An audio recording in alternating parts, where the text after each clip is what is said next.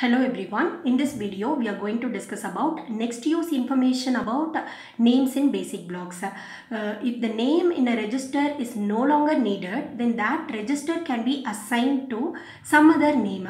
In other words, we can say that if the name is having next use, then it cannot be, that register cannot be allocated to some other uh, name because uh, we are going to use the register in future. Uh, so for example, consider this uh, two statements, these two statements. Uh, the statement, this statement x equal to y plus z is called as i. i is a label and this statement is j. So if the statement i assigns some value to x, that is y plus z is assigned to x and statement j uses x, x as an operand.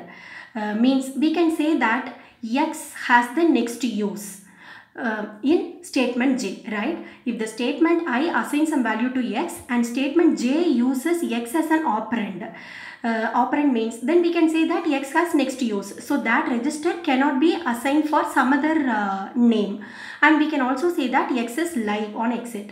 But this X uh, should not be changed in, in between, between I and J, right? Then uh, the algorithm this is uh, used for determining liveness and next use information for each statement in a basic block. So uh, for this algorithm input is a basic block. We are going to consider the basic block with a list list of three address statements. And we are going to uh, assume that the symbol table initially shows all non-temporary variables in the basic block as being live. It means that all the variables are uh, initially assumed as live and the temporary variables are not live. Then the output is at each statement uh, i colon x equal to y operator z, we have to attach i uh, attached to the statement i, the liveness and next use information of all the variables x, y and z. So method uh, here this algorithm is a backward scan algorithm we so that we start at the last statement in B and scan backwards to the beginning of B. Then there are three steps. At each statement i equals x equal to y operator z in basic block, we have to do three steps. First step is attach to statement i, that is uh, the name of the statement, attach to statement i the information currently found in the symbol table regarding the next use and liveness of x, y and z. That is, we need to attach i about um, uh, the liveness and next use information of all the three variables. So initially we know that all the temporary variables are not live and all the variables are live.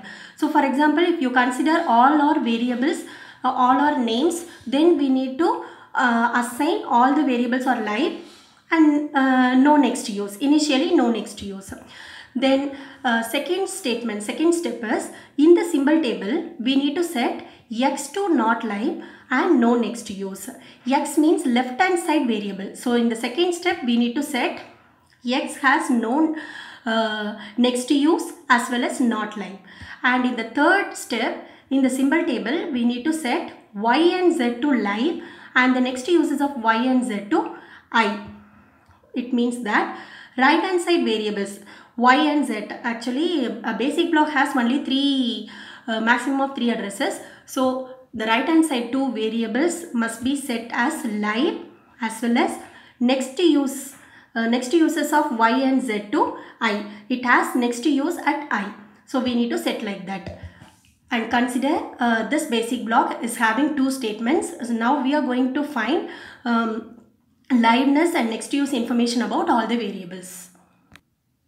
So now consider the basic block has two statements. So the algorithm uh, is a backward scan algorithm. So we need to start with uh, the statement J. So first we need to find liveness and next use information of all the three variables A, B and D. So in algorithm, first statement, uh, first step is attach to statement I the information currently found in the symbol table regarding the next use and liveness of X, Y and Z. That is, the symbol table informations must be entered. So uh, we have to consider all the non-temporary variables as live. So live uh, liveness of A is true, B is also true, D is also true. And next use. So initially all the variables are not having uh, next use. So none. Then uh, this is the first step. So after this um, mm, uh, second step must be applied. So second step is the left hand side variable must be set as not live and no next use. So the left side variable is d. So d is uh, not having uh, uh, we have to set not live information. So liveness information is false and it has no next use. We need to set no next use. So its next use is none. And the third step is and uh, in symbol table we need to set y and z. That is right hand side variable must be set as line. So uh, liveness of A is true, B is also true. And next use of y and z must be set to i. So next use of A is next use of A is J here. And next use of B is J. So uh, actually uh, this is done before uh, this J. Suppose in our forward scan uh, um, while executing the program in forward scan before seeing I if we see the uh, liveness and next use information we can know about A and B. That is A is having next use at statement, statement number J and B is also having uh, next to use at statement number J. So these registers cannot be assigned for some other statement. Okay, so backward scan algorithm is used for uh, assigning liveness and next use information. But while executing the program, while constructing the target program, we will use a forward scan only. So before J, we can uh, know about A and B variables. It has the next use at J so that it cannot be allocated to some other purpose. Similarly, now we need to uh, scan the next uh, statement. So, I colon A equal to B plus C. Uh, so, the same uh, algorithm as per the algorithm. First step is current symbol table information must be um, applied to all the variables. So, current symbol table information is uh, liveness of A, B are true. So, true, true. C is also a variable only. It's not a temporary, temporary variable. So, it's a it is also true. And next use information of A is J. Next, next use information of B is also J. And next use information of C. This is not known. So none. Then as per the uh, second and third steps, um, in second step, uh, we have to set A as not live. So false. And next use information of uh, uh A is also no next use so that none. We need to set like this. Then for the right hand side we have to set liveness as true. So true and true here.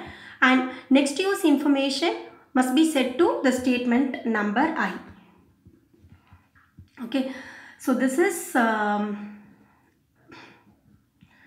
uh, before i if you see the uh, if you want uh, if we want the register then uh, we cannot use b and c registers because they will be used in uh, statement number i. So these registers cannot be allocated. Similarly after executing i if we want the register then a and b a and b has the next uses um, next uses in statement number j statement number G. so they cannot be allocated but C can be used for uh, the register for C can be used. So next use and uh, liveness information can be used for reassigning a register to some other name. If the register is no longer used, it can be assigned to uh, some other name. So for register allocation, this next use information is very much important. So by using this algorithm, we can find the uh, next use and liveness variable, liveness information for uh, any three address statement. Thank you.